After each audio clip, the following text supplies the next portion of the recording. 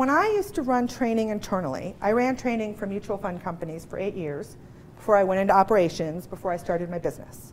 And I used to read every performance appraisal. I ran leadership development and succession planning. And I read thousands and thousands of performance appraisals. And the thing that made me physically ill is that they all could have been the same. Shari had a great year. She's a great team player. She works really hard. It's great to have her on the team. Go, Shari.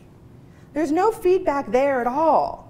So if you're looking at this and you see the words like good, helpful, we just find you to be really thorough. We think you're very detail oriented. Or we think you're we just think this practice is unfair. We find your work to be unreliable. We think you're careless and, you know, not trustworthy. In my world, this is Captain Crunch. So here's how I want you to think about feedback.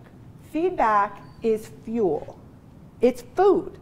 When you get good feedback, it's like eating carbs and protein in a combination that gives you the energy and the knowledge to keep going in the direction you want to be going.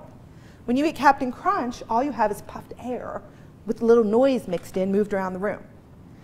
Now, some of us are not giving feedback because we're concerned that other people are going to get defensive. So if you're concerned about people's defensiveness, give them a little Captain Crunch. They'll be defensive because when you tell someone that they're not detail oriented or not reliable, you haven't told them anything. All you've done is make them wonder. And when people wonder, they start to shop the feedback.